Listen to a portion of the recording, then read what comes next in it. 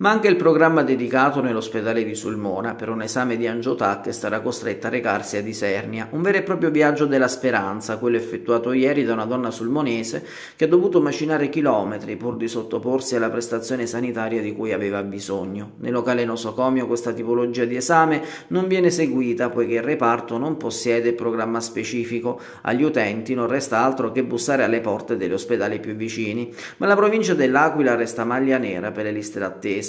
La prima data utile è per dicembre 2023, mentre nel presidio del capoluogo la donna avrebbe dovuto attendere fino ad un anno. Da qui la decisione di sconfinare pur di accedere alla prestazione per il controllo della circolazione sanguigna nei vasi e nelle arterie del corpo.